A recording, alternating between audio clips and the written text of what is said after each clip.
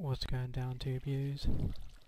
Playing old uh, Minecraft here with the Feed the Beast mod collection and I think it's safe to say you get a interesting kind of thing going on with the NPC villages with all the mods activated. You can see there's a church there and all their farms are high rise for some reason and then you get this guy's house on top of there for some reason. Pretty crazy. And if you don't know, Feed the Beast is a collection of uh, forestry, industrial craft, things like that. As you can see, similar to quite a few other mods, but instead of giving you the items, they just tell you how to make them, which is cool.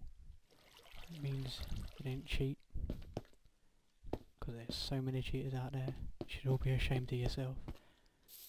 I just thought I'd do a little video. Should really be in bed, but eh, whatever. Yeah, that's. Wouldn't have liked to have been the guy who built that. Yeah.